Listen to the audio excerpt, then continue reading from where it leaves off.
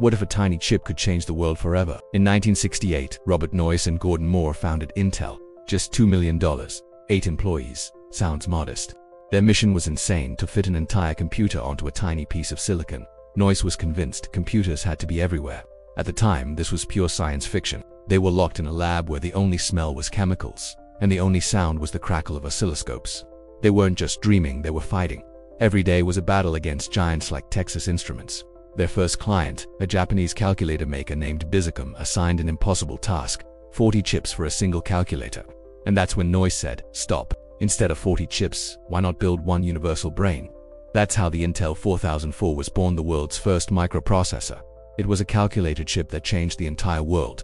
But the real breakthrough was ahead. By the 80s, Intel created the x86 architecture.